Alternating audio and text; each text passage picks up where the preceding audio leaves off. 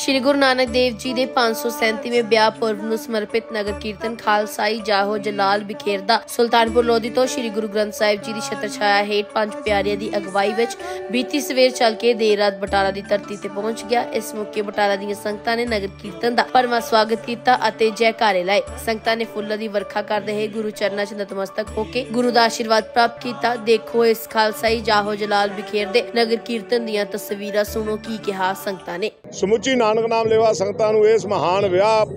ਪੁਰਬ ਗੁਰਪੁਰਬ ਜੋੜ ਮੇਲੇ ਦੀ ਲੱਖ ਲੱਖ ਵਧਾਈ ਦੇਣਾ ਔਰ ਇਹ ਤੇ ਬੇਨਤੀ ਕਰਨੀ ਚਾਹੁੰਦਾ ਕਿ ਅੱਜ ਸਵੇਰੇ ਕਰਮਾ ਭਾਗਾਂ ਵਾਲਾ ਦਿਨ ਜਦੋਂ ਸਵੇਰੇ 7 ਵਜੇ ਅਰਦਾਸ ਉਪਰੰਤ ਗੁਰਦੁਆਰਾ ਬੇਰ ਸਾਹਿਬ ਤੋਂ ਇੱਕ ਮਹਾਨ ਨਗਰ ਕੀਰਤਨ ਪੰਜ ਪਿਆਰਿਆਂ ਦੀ ਅਗਵਾਈ ਧੰਨ ਗੁਰੂ ਗ੍ਰੰਥ ਸਾਹਿਬ ਦੀ ਛਤਰ ਛਾਇਆ ਹੇਠ ਆਰੰਭ ਹੋਇਆ ਸੀ, ਉਹ ਵੱਖ-ਵੱਖ ਪੜਾਵਾਂ ਨੂੰ ਤੈਅ ਕਰਕੇ ਮੈਂ ਸਮਝਣਾ ਹੁਣ ਤੱਕ ਦਾ ਜੋ ਸਮਾਂ ਉਹ 12-13 ਘੰਟੇ ਜਿਹੜੇ ਨੇ ਲੱਗ ਚੁੱਕੇ ਨੇ। ਬਾਬਾ ਬਕਾਲਾ ਮਹਿਤਾ ਚੌਂਕ ਹੁੰਦਾ ਹੋਇਆ, ਅਜੇ ਵੀ ਬਟਾਲੇ ਤੋਂ 14-15 ਕਿਲੋਮੀਟਰ ਦੀ ਦੂਰੀ ਤੇ ਇਹ ਨਗਰ ਕੀਰਤਨ, ਇਹ ਅਜੇ ਬਾਕੀ ਪੈਂਡਾ ਜਿਹੜਾ ਕਰਨ ਵਾਲਾ ਪਰ ਮੈਂ ਇਹ ਵੀ ਸਮਝਣਾ ਕਿ ਸਮਾਂ ਜਿਹੜਾ ਇਤਨਾ ਹੀ ਹੋਰ ਬਟਾਲੇ ਤੱਕ ਪਹੁੰਚਦਿਆਂ ਲੱਗ ਸਕਦਾ ਕਿਉਂਕਿ ਰਸਤੇ ਵਿੱਚ ਮੈਂ ਪਿੱਛੋਂ ਨਾਲ ਆਇਆ, ਜਿੰਨਾ ਪਿਆਰ, ਸਤਿਕਾਰ ਸੰਗਤਾਂ ਵਿੱਚ ਧੰਨ ਗੁਰੂ ਗ੍ਰੰਥ ਸਾਹਿਬ ਨੂੰ ਆਪਣਾ ਸੀਸ ਝੁਕਾਉਣ ਲਈ ਹੈ।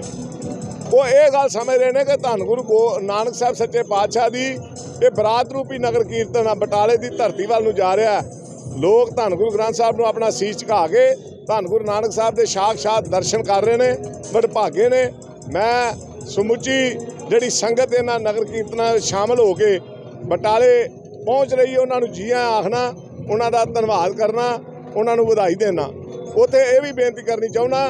ਕਿ ਸਵੇਰੇ ਫੇਰ 10 ਸਤੰਬਰ ਨੂੰ ਮਾਤਾ ਸਲਖਣੀ ਦੇ ਪੇਕਾ ਘਰ, ਮਾਤਾ ਜੀ ਦਾ ਜਨਮ ਸਥਾਨ ਧੰਨ ਗੁਰੂ ਨਾਨਕ ਸਾਹਿਬ ਦਾ ਵਿਆਹ ਸਥਾਨ ਗੁਰਦੁਆਰਾ ਡੇਰਾ ਸਾਹਿਬ ਤੋਂ ਇੱਕ ਮਹਾਨ ਨਗਰ ਕੀਰਤਨ